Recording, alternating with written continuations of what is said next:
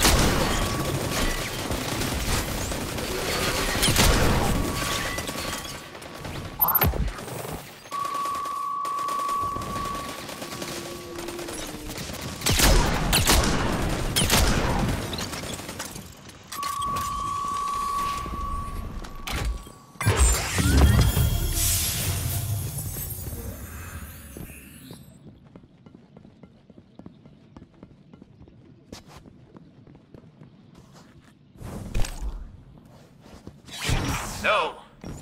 Clovis? You've meddled in my affairs, haven't you? The Vex march on me through no provocation of my own. We were just searching for the blueprints to reforge the blade. And provoked the Vex to my doorstep in the process. If you desire the end result of those blueprints, you best make haste.